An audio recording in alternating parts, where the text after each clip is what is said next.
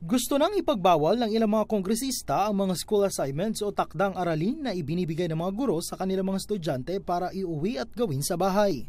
Kapwa nagsumite ng dalawang magkahiwalay na bersyon nito sina Quezon City Representative Alfred Vargas at House Deputy Speaker Evelina Escudero.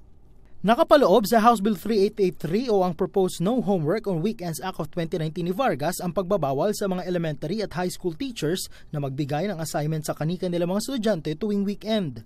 Kung maisa sa batas, pwedeng pagmultahin ang aabot sa mahigit 50,000 pesos ang sinumang mahuhuling lalabag dito. Habang isinusulong naman ni Escudero ang no homework policy para sa mga kindergarten hanggang grade 12 students sa ilalim ng kanyang House Bill 3611. Nais din sa ilalim ng panukalang batas na hindi na kailangan pang iuwi ng mga estudyante ang kanilang mga textbooks at magkaroon na lamang ng mga dedicated lockers sa mga eskwelahan. Depensa naman ng mga mambabatas, layunin lang nila na maibsan ang health risks at stress na kinakaharap ng mga estudyante dahil sa mga pabaong assignments na ibinibigay ng mga guro. Makakatulong din daw ito para mas mabigyan ng sapat ng oras ang mga bata na makasama ang kanilang mga pamilya.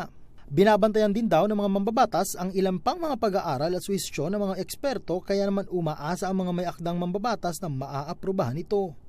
Sa oras ng maging batas, popondohan ito sa ilalim ng annual budget ng Department of Education. Christian Mitra, Newslight.